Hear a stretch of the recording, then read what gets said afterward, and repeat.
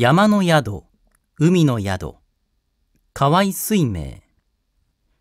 海辺の旅宿は潮の香りがする。山中の旅宿は苔の香りがする。裏には貝殻やビクが散り乱れている。海に近いからであろう。庭には枯れ芝や草かごが偏せてある。山に近いからであろう。海辺の宿の女中は必ずおしろいを塗っている。山の宿の女中は必ずしもおしろいをつけていない。前者には渡り物が多く、後者には土着の女が多い。海の宿には生めかしさがある。山の宿には古めかしさがある。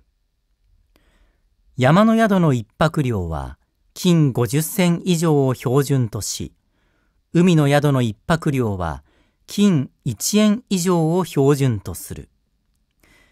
よもすがら、枕に響くとうとうたる波の音は、寂しいようでも、なんとなく心強さがある。雨かと孫うばかりそうそうとして響く渓流の音を、ともしび暗き半夜のとこに聞くときは、寂しくかつ心細い。海の宿は暮れるに遅いから眠りにつくことも遅い。山の宿は暮れることも早く眠ることも早い。海の宿は早く夜が明けても宿の人たちはまだ眠っている。山の宿はまだ暁の暗いうちから宿の人たちはすでに起きている。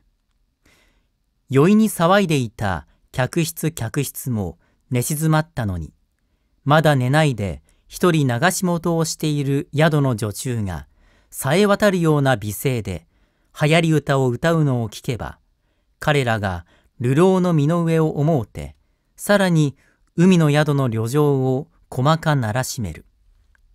時計を見ると、特に夜は明けているはずなのに、さすがは山懐、まだ外は暗い。別に他の客ありとも思われぬから、高らかな調子の話し声は宿の人たちであろう。なんとなく懐かしい。山の宿には温泉があり、海の宿には塩湯がある。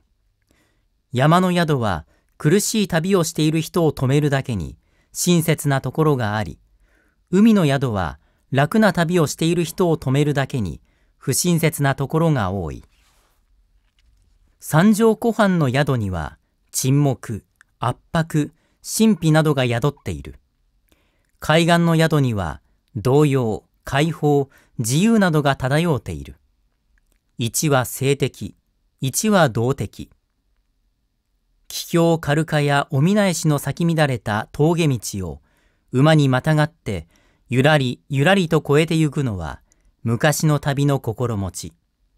船を雇うて海岸を漕ぎ回るときは心広々として遠い洋上の白鳥を住む孤島の生活を思う。船頭には老いたるが多く、馬氏には弱い若きが多し。